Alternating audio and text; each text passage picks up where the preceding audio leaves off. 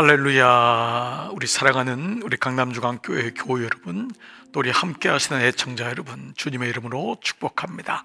오늘은 우리 오순절의 여정 우리 여덟 번째 시간입니다. 여러분 오늘도 거룩한 주일 여러분 잘 지내시고 승리하신 줄 믿습니다 여러분 오늘 주일 말씀 기억하세요 하나님은 왜 이렇게 쫀쫀하실까 근데 여러분 우리가 하나님이 쫀쫀하신 게 아님을 우리는 알게 됩니다. 하나님의 주도권은 참으로 놀랍습니다. 그것은 우리가 보지 못한 영역까지도 주님은 알고 계시고 우리의 죄된 우리의 이 모순된 모습, 죄로 인하여 타락한 모습이 어떠한지를 주님은 너무도 잘 알고 계십니다. 주님이 작고 세밀한 부분까지 간섭하시는 것은 간섭이 아니라 관여고 주도권을 잡으시고 우리가 올바르게 서질 때까지 기다리시는 하나님의 사랑과 은혜라고 보는 것이 옳습니다. 신명기 말씀은 하나님이 작은 부분까지 놓치지 않고 있습니다. 왜냐하면 그 작은 것이 결국은 우리의 운명과 우리의 삶을 완전히 바꿔놓기 때문입니다. 영적인 부분은 이루 말할 수가 없죠. 자, 오늘 이러한 우리 주일 말씀의 맥락을 가지고 오늘 여덟 번째 말씀은 이삭은 믿음으로 기도해서 얻은 아들이 아니었다라는 것입니다. 좀 우리가 이 이삭에 대한 에피소드 중심으로 봤던 사람은 어? 좀 이상한데 이삭이 믿음으로 그 아이를 놓고 기도한 것이 아닌가라고 하는데 광야라고 하는 단어와 하나님이라고 하는 주도권이라고 하는 단어를 잘 연결해서 본다면 오늘 말씀도 또다시 새겨지고 또다시 우리 마음 속에 또 새롭게 다가오는 말씀이 될 것입니다. 자, 우리 같이 한번 말씀 볼게요. 로마서 4장 19절에서 뭐라고 말하냐? 그가 백세나 되어 자기 몸이 죽은 것 같고 사라의 태가 죽은 것 같음을 알고도 다 죽었을 때 하나님의 일하심이 시작되지요. 믿음이 약하여지지 아니하고 믿음이 없어 하나님의 약속을 의심하지 않고 믿음으로 견고하여져서 하나님께 영광을 돌리며 라고 써져 있는데 여기 한번 의문점을 한번 더 보는 거예요. 정말 그랬을까? 정말 믿음이 약해지지 아니하고 믿음이 없어 하나님의 약속을 의심하지 않고 오히려 믿음으로 견고해져서 하나님께 영광을 돌렸는가라는 거예요. 가난에 들어올 때부터 백세가 되기까지 아브라함은 항상 하나님을 굳게 믿고 신뢰 했는가? 그래서 마침내 이삭을 얻게 된 것인가 라는 거예요. 근데 로마서는 믿음의 서신이거든요. 이제 믿음이라고 하는 단어를 갖지만 그 믿음의 주어가 누군지는 우리가 좀 더 명확하게 해야 됩니다. 그건 우리가 아닌 거예요. 우리 계속해서 구속사적인 말씀에 주권이 누구한테가 있죠? 주어 찾기가 우리가 늘 아는 것 같지만 순간순간 속을 때가 많습니다. 자, 좀 더 볼게요. 가난에 들어온 지 10년이 넘어 훨씬 넘었는데도 하나님께서 감각 무소식이자 사라는 아브라함에게 이렇게 말했다. 하나님이 우리에게 아들을 안 주시려나 봐요. 그러니 다른 방법으로도 후손을 세워야 할 것 같습니다. 그래서 누구죠? 하가를 줘서 그녀를 통해 후손을 낳자고 하고 아브라함도 그의 제안에 전적으로 동의합니다. 그래서 이스마엘을 낳게 됐죠. 하나님이 어, 후사를 직접 주겠다고 믿었으면은 아브라함이나 아, 우리가 이 아내인 사라도 절대 하가를 아, 그렇게 그 대를 잇는데 사용하지 않았겠죠. 자, 그런데 결국은 이 아브라함이 100세가 되기 1년 전 하나님은 그에게 두 번이나 1년 후에 아이를 주겠다고 약속하시고 그때 처음에는 믿지 못했지만 두 번째 말씀하실 때는 믿게 되죠. 이 앞의 구절은 바로 그런 사실을 이해하고 있는 것이지 아브라함이 백세가 될 때까지 하나님의 약속을 의심하지 않고 믿었다는 뜻이 아니라는 거예요. 그러니까 로마서의 말씀은 그 믿음을 준 것이 누구였는지가 사실 초점이에요. 그러니까 아브라함의 믿음이 있어서가 아니라는 것이죠. 그러니까 히브리서 말씀도 그렇게 보면은 그때 비로소 말씀이 묵상이 되는 거죠. 우리는 믿음의 사람들이라는 단어로 히브리서 11장을 얘기하죠. 그러나 그 믿음을 주신 분이 누구냐라고 하는 주어의 문제를 계속 말씀하고 있어요. 자, 하나님은 우리의 믿음을 보시고 우리의 기도를 들으시고 우리의 열심을 보시고 우리의 중심을 보시고 우리에게 은혜와 축복과 기도 응답을 주실 때가 있다. 한나에게도 그러셨던 것처럼 그러나 때로는 우리의 믿음이 부족해도 우리가 열심히 기도하지 못해도 우리가 하나님 앞에 은혜나 축복을 받을 만한 어떤 모습을 보여주지 못해도 은혜로 인도하시고 은혜로 갚으신다는 거예요. 이게 우리의 최선 위에 있는 하나님의 열심이라는 것입니다. 그러니까 이 하나님의 열심과 우리의 최선이 2% 차이처럼 마치 종이 한 장처럼 때로는 구별되지 않는 것 같지만 이 순서가 너무 중요하다는 것입니다. 하나님의 열심이 사라지는 순간 우리는 나의 의와 나의 열심에 붙잡히는 자기 공로에 붙잡힐 수 있는 것이 너무 많은 거예요. 여러분 주변을 봐보십시오. 교회를 봐보십시오. 왜 다 자기 일이라고 생각하는 거예요? 하나님의 일인데 내가 맡고 나면은 다른 사람은 건들지도 못하는 거예요. 왜 그러냐면 어느 날 최선을 다하는데 하나님의 일이 아닌 나의 일이 될 때가 있어요. 우리는 다 손을 놓을 때가 곧 다가옵니다. 연습하는 거예요. 같이 일하는 거예요. 같이 더불어서 일하고 하나님께 영광을 돌리는 것을 자꾸 연습해야지만이 그 일에 내가 주인 되어서 매몰되지 않습니다. 자녀에게 섭섭하다고 하는 분들이 의외로 많습니다. 물론 속상하죠. 이렇게 길렀는데 그놈들이 나한테 하는 모습 보니까 너무 속상해요. 그런데 연습하셔야 됩니다. 이 아이는 내 것이 아니라 하나님의 것이다. 섭섭해도 내 아이가 아닌 거예요. 잘할 때도 내 아이가 아닌 거예요. 모든 것이 하나님이 일하신다. 하나님의 자식이라는 것을 늘 마음속에 염두에 두고 연습해야지만이 그때 하나님이 주어가 되기 때문에 섭섭해도 통과할 수 있고 잘 돼도 매이지 않을 수 있는 것과 마찬가지를 할수 있습니다. 하나님은 우리에게 약속하신 것을 우리의 믿음과는 상관없이 반드시 이루어 주신다. 그 무슨 말이냐? 내가 믿음이 좋기 때문에 하나님이 응답하시고 믿음이 없으면 하나님이 응답하지 않는다. 이거는 기복적인 거예요. 원인과 결과가 나의 최선과 열심에 있다라는 것이죠. 하나님은 우리의 믿음과 관계없이 당신의 뜻을 이루어 가신다. 왜냐? 우리는 때로 믿음이 있을 때도 있지만 없을 때도 있는 거예요. 이게 광야인 거예요. 광야. 광야는 해가 있을 때도 있지만 어둠이 있을 때도 있는 거거든요. 어둠이 있을 때도 하나님은 우리의 기도를 들으시고 해가 있을 때도 들으신다는 것이죠. 하나님은 당신이 하시고자 하는 일을 반드시 행하신 이게 하나님의 열심. 하나님의 계획이 우리의 믿음에 달려 있다면 그 계획은 하나도 이루어질 수 없는 것이다. 구속이라는 것은 일방적으로 내 믿음이나 내 응답과는 관계없이 값을 치른 거예요. 이게 바로 테텔레스타예요. 일방적으로 값을 치른 거예요. 내가 잘했기 때문에 내가 이만큼 주님의 마음에 맞았기 때문에 주님이 구속을 하신 것이 아니라는 것이죠.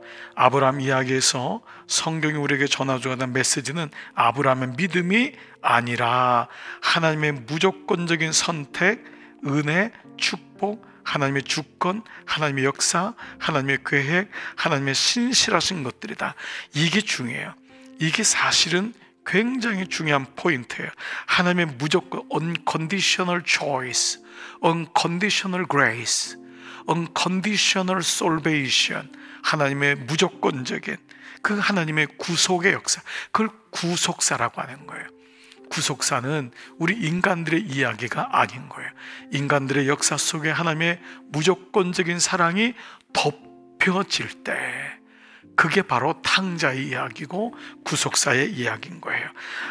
이 아브라함이 얼마나 신실해서 아브라함을 본받자, 아브라함의 믿음을 본받자가 성경의 이야기가 아닌 거죠. 우리는 계속해서 이것을 아주 귀에 어, 못이 박히도록 계속 묵상해야 돼. 잊어버리면 안 됩니다. 그 사람을 본받자 하면은 성경은 도덕책이 되는 것이죠. 구원의 스토리가 아닌 거예요. 자, 아브라함이 그의 아들 이삭이 그에게 태어날 때에 백세라. 아브라함에게 자식을 주시겠다고 하셨지만 하나님은 언제 어떻게 주실지에 대해서는 한마디도 없으셨다. 처음부터 25년 아들을 주겠다고 하셨다면 실망스럽지 않겠지만 25년 동안 안달복달하면서 지내지는 않았을 것이다. 그런데 그런 약속이 없었다. 하나님은 언제 그들의 광해가 끝날지 언제 아들을 주실지 알려주지 않으셨다. 아브라함이 99세가 돼서야 처음으로 천사를 통해 내년에 그의 집에서 아이 울음소리가 들릴 거라고 알려 주셨다. 참 이게 말씀이 여러분 이해가 되시죠? 좀 더 한번 볼게요. 10년형을 받고 감옥 생활하는 사람은 10년만 참고 견디면 희망이 있어요. 그러나 무기징역을 받는 사람은 가명을 받아서 나가게 될지 아니면 평생을 감옥에 있을지 알 수 없어요. 그런 사람에게 기다림은 고문이다. 젊은이들이 군대에 입다는 순간부터 제대를 기다린다. 18개월만. 요즘은 18개월이죠. 또 어제는 16개월, 좀 짧으면 뭐 1년도 한다는데 여러분 지난 저희 때만 해도 33개월이었어요. 또 그 위에 보니까 36개월이었잖아요. 그러니까 그때만 해도 참 길었죠. 그런데 다들 들어가면은 제대할 날을 손꼽아 기다립니다. 마지막 시간이 있기 때문에 기다리는 거죠. 그러나 인생을 살아가면서 기다리는 기다림은 끝을 알 수가 없다는 거예요. 장애를 앓고 있는 자녀를 기르는 부모님의 정말 이런 고통스러운 마음을 들어본 적이 있습니다. 이 아이가 언제 나을지 알지 못하는 거예요. 이게 참 어렵습니다. 이 아이의 이 IQ가 성년이 돼도 아이 한 다섯 살의 IQ밖에 안 된다는 거예요. 근데 이게 언제 끝날지 알지 못할 때 참 부모의 마음은 얼마나 고통스럽겠습니까? 자, 그런데 바로 이 기다림이 그래서 힘든 거죠. 언제 끝날 줄 모르니까. 이 병이 언제 끝날 줄 모르는 거예요. 이 가난의 아픔이 언제 끝날 줄 모르는 거예요. 출애굽에서 가난을 향해 가는 히브리인들의 40년 광야 생활은 물론 힘들었을 것이다. 하지만 그들은 언제 광야가 끝나는지 알고 있었다. 광야의 끝을 알고 있었어요. 하나님이 가나안 땅에 분명히 들어가게 하신다라고 약속하셨기 때문에 즉 언약에는 약속이 있는 것이잖아요. 자, 사무엘은 사울에게 7일 후에 오겠다고 했다. 하지만 7일 동안 기다려도 오지 않자 사울이 대신 제사를 드렸죠. 그런데 제사를 드리자마자 마치 드라마처럼 기다리고 있었던 것처럼 사무엘이 등장해요. 사무엘은 며칠 늦게 온 것이 아니다. 한 시간도 채 되지 않았다. 한 시간만 더 기다렸다라면 사울은 하나님께 버림받지 않았을 텐데 참으로 안타까운 일이다. 또 바울을 한번 봐볼게요. 바울은 고향 다소에 들어가서 10년 넘게 초야에 묻혀 지냈다. 성사학자들은 13년을 얘기하거든요. 그는 베드로가 다시 찾아줄 때까지 기다렸다. 예루살렘에 갔는데 환영해 주질 않는 거예요. 그 다음에 부르질 않는 거예요. 그게 13년이었어요. 마침내 기다리고 기다리는 끝에 바나바가 그를 부름으로써 바울의 광야가 끝나게 되었다.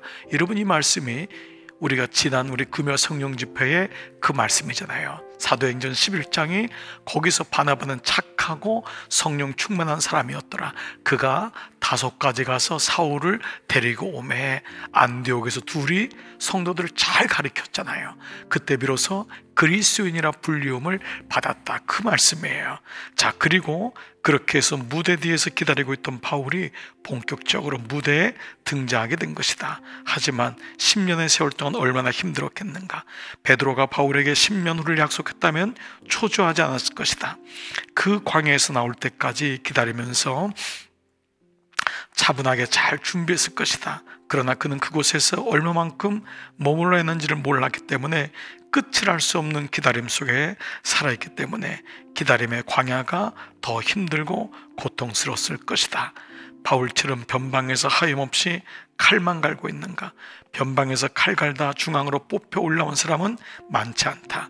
그렇게 변방에서 칼을 갈면서도 불안하다. 이렇게 칼만 갈다 많은 것은 아닌가? 기다림의 끝을 알 수 없게 기다림은 내내 힘든 것이다. 자, 우리는 이미 충분히 기다렸다고 생각할지 모른다. 그랬을 수도 있다. 그러나 어쩌면 우리는 더 기다려야 할지 모른다. 이것이 광야에서의 기다림이다. 그러니까 인생 자체가 정말 기다림이라는 것을 이 아브라함을 통해서 말씀하고 있는 거예요. 25년 동안 하나님은 아무 얘기도 하지 않으신 거죠. 언약만 하시고 언약이 이루어질 것은 믿었지만 사실 아까 말씀드린 대로 아브라함이 믿음이 있어서 믿은 것도 아니고 그는 내내 갈등하고 그 가운데 의심했던 것을 보게 됩니다. 12시에 기차를 타려면 9시 역에 도착했다. 3시간만 기다리면 된다. 그러나 광야의 기다림은 그런 기다림이 아니다. 역에 헐레벌떡 도착했는데 이미 기차는 떠나버렸고 다음 기차가 언제 올지 모르는 거예요. 아니 안 올지도 모른다. 그런데 그래도 기다려야 된다. 광야에서 기다림은 그런 기다림이다. 즉 광야의 기다림은 그런 낭만적인 것이 아니에요. 설렘이 아니에요. 때로 고통이고 인고의 시간이고 속이 시커멓게 타들어가는 시간이다. 아브라함이 그랬고 사라가 그랬고 모세가 그랬고 다윗이 그랬다라는 말씀입니다. 사랑 여러분 오늘은 기다림에 대한 말씀을 좀 가지고 말씀을 나누었는데요. 어떤가요? 여러분, 기다림이란 것은 그렇게 유쾌한 시간이 아닙니다. 때로 기다리는 그 시간이 언제일지 모르는 것이 인생일 때가 많습니다. 그런데 한 가지, 그 가운데서 하나님은 여전히 일하신다는 거예요. 우리는 시간을 알지 못해요. 그래서 크로노스라고 하는 이 시간밖에 보지 못하죠. 근데 카이로스라고 하는 하나님의 시간표 속에서 보는 것을 연습하는 시간, 그것이 바로 광야인 것입니다. 눈에 보이는 것으로 우리가 일이 일비하지 않는 것은 하나님의 시간이 있음을 신뢰하기 때문입니다. 그리고 그 하나님을 신뢰하는 거예요. 그 가운데 하나님은 또 참을 수 있고 견딜 수 있는 은혜를 주신다는 것입니다. 광야는 기다림입니다. 그러나 그 기다림의 끝에는 언약의 하나님이 계시다는 것.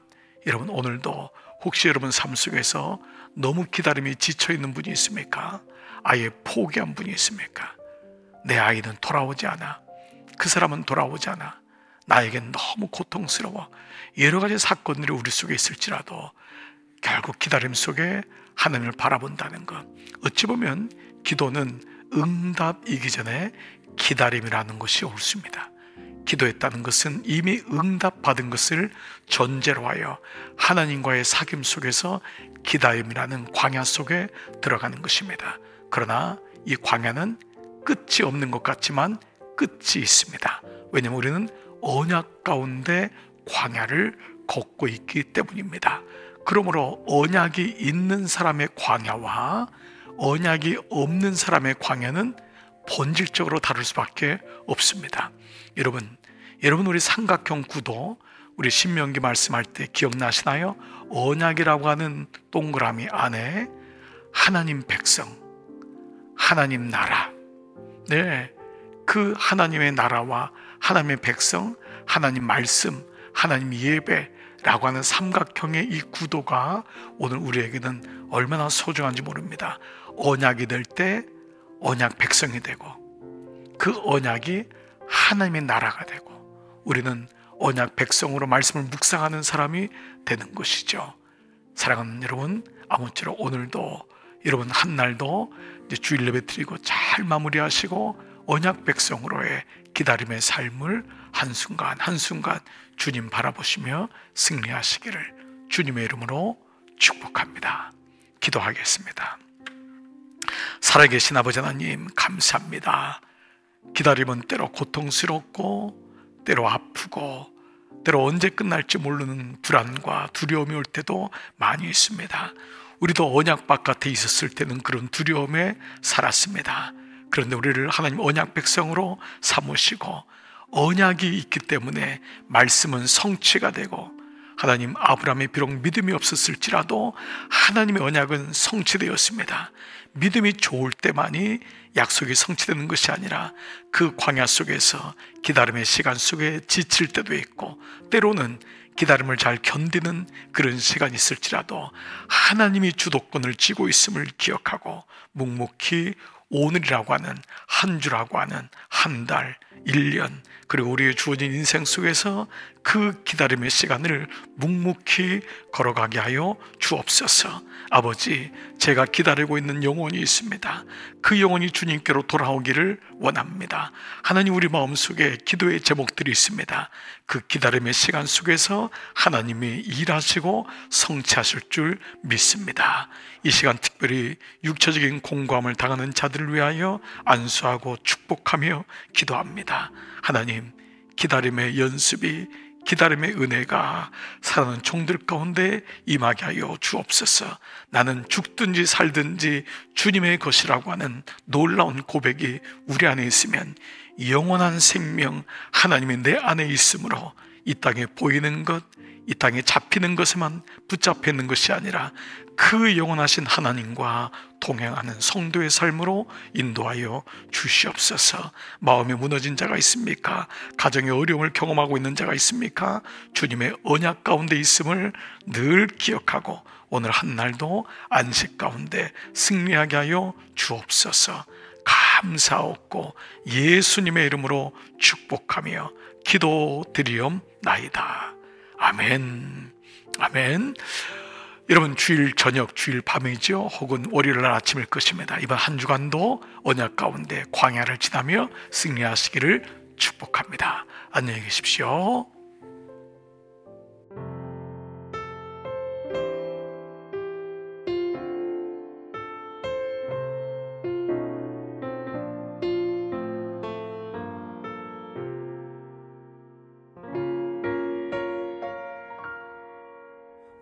나를 깊은 어둠 속에 홀로 두시는지 어두운 밤은 왜 그리 길었는지 나를 고독하게 나를 낮아지게 세상 어디도 기댈 곳이 없게 하셨네. 광야 광야에 서 있네.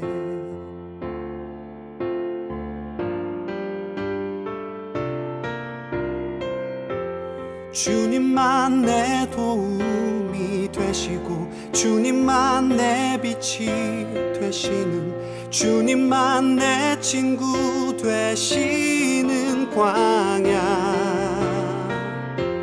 주님 손 놓고는 단 하루도 살 수 없는 곳 광야. 광야에 서 있네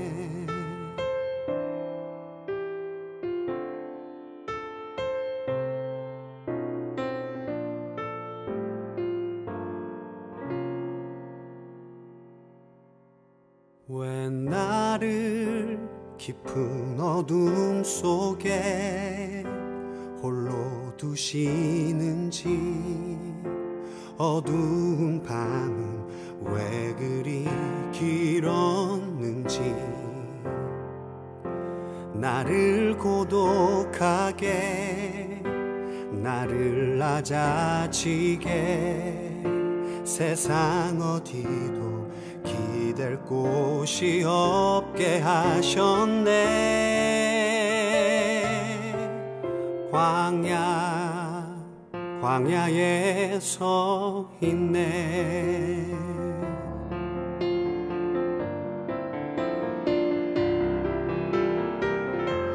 주님만 내 도움이 되시고 주님만 내 빛이 되시는 주님만 내 친구 되시는 광야. 주님 손 놓고는 단 하루도 살 수 없는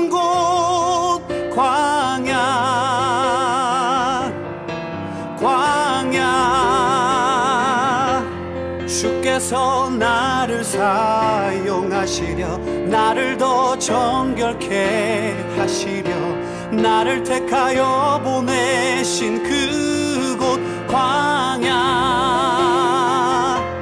성령이 내 영을 다시 태어나게 하는 곳 광야. 광야에 서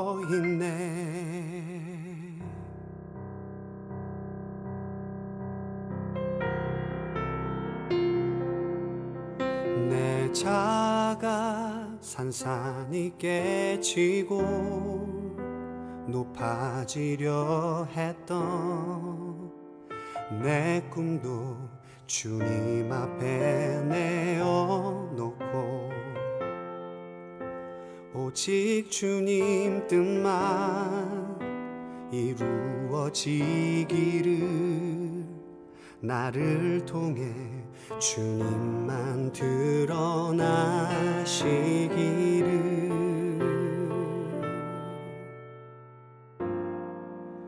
광야를 지나며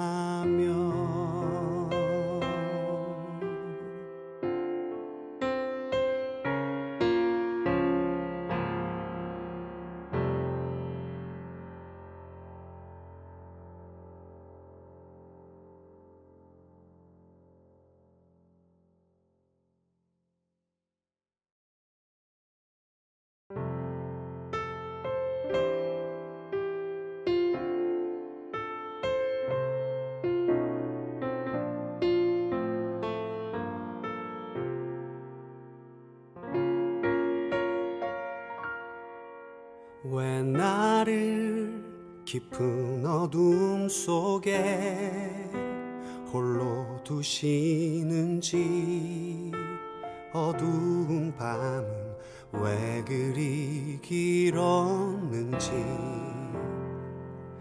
나를 고독하게 나를 낮아지게 세상 어디도 기댈 곳이 없 게 하셨네. 광야 광야에 서 있네.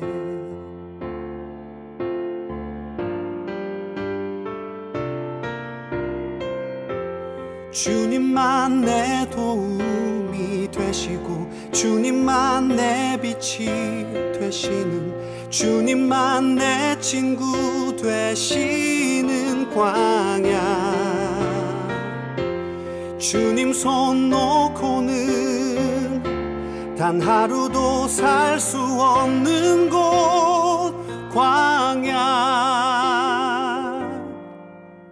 광야에 서 있네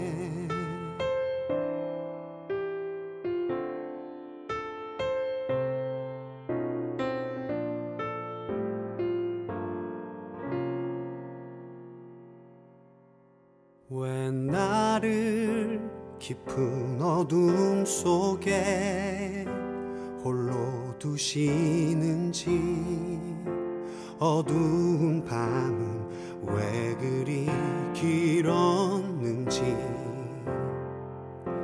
나를 고독하게 나를 낮아지게 세상 어디도 기댈 곳이 없게 하셨네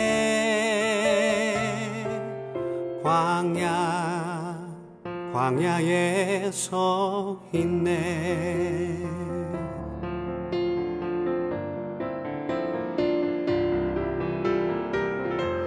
주님만 내 도움이 되시고 주님만 내 빛이 되시는 주님만 내 친구 되시는 광야 주님 손 놓고는 단 하루도 살 수 없는 곳 광야. 광야. 주께서 나를 사용하시려 나를 더 정결케 하시려 나를 택하여 보내신 그